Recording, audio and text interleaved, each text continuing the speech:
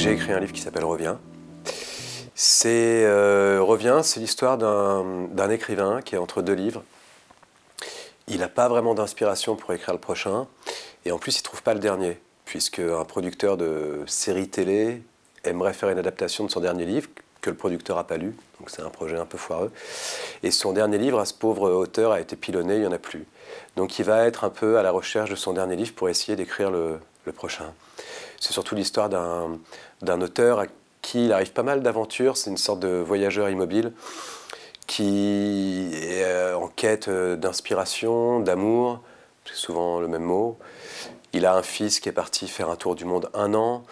Euh, il attend des nouvelles de son livre qu'il a commandé sur Amazon, mais sa grande culpabilité de l'avoir fait lui a fait inventer une sorte de livreur fantôme nocturne. Il a reçu une lettre d'un d'Afrique, d'un type qui lui demande de l'argent, enfin un mail piraté, il va se rendre compte que c'est son contrôleur des impôts, mais il décide d'y croire. En fait, voilà, c'est l'histoire d'un type qui convoque un peu le plus de choses possibles pour euh, retrouver un peu d'écriture. C'est amusant parce que c'est un livre qui n'était absolument pas prévu. Euh, moi, j'étais plutôt dans des histoires de cinéma à ce moment-là.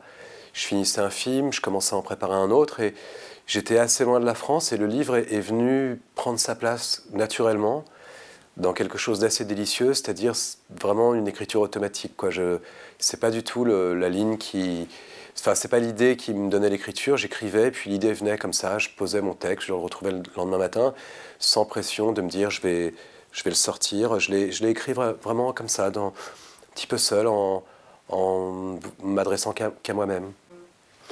Bah, c'était assez proche de moi, c'est-à-dire que c'est pas. Y a, cet auteur me ressemble avec des traits euh, très forcés, mais c'était euh, vraiment dans une sorte. En fait, moi, j'ai l'habitude souvent de. J'écris des carnets tout le temps, mais c'est des carnets ridicules, il faut surtout pas les publier. C'est des, des, journaux intimes de filles de 14 ans, quoi. Il y a des dessins, des notes, des promesses. Et ce livre, je l'ai commencé comme ça, et puis finalement, je, me suis dit pourquoi pas essayer de plutôt écrire un livre ce coup-ci, que des phrases comme ça. Donc, euh, le décor était ma proximité, quoi. Je, je sais pas, moi, j'ai. J'écris dans une cuisine qui fait 2 euh, mètres 50 carrés, qui est toute petite, toute petite. Donc, c'est là commence le livre, par exemple. J'écris tout le temps, mais donc euh, je sais pas, j'ai pas de choses à l'avance parce que j'aime pas avoir des choses à l'avance. Euh, parce que j'ai l'impression que tout est en mouvement tout le temps, tout bouge tous les jours dans ma vie. Et je sais pas quel type ou quelle tête j'aurai dans, dans un an. Et donc voilà, moi j'arrive pas par exemple à relire ce que j'ai pu écrire il y a des années parce que souvent je me dis bah, j'étais quelqu'un d'autre à ce moment-là. Mais en tout cas, celui-là, je vais, hum, il va certainement amener une autre voix, ou je sais pas. On met toujours de soi. Après, on, la déforme, on la détourne. Euh, oui, moi j'ai mis de moi, mais j'ai mis de moi dans. Je sais pas, il y a des années, j'ai écrit un livre sur un petit Malien de 10 ans, il avait de moi aussi. Et puis, euh, donc forcément, il y, a, de moi dans cet auteur. Mais qu'il soit auteur, il aurait pu être agent immobilier. C'était, pas tellement le problème. Ce qui m'intéressait, c'est, c'est surtout, c'était comme le livre s'écrivait un petit peu tous les jours, sans plan, sans trop savoir où ça allait.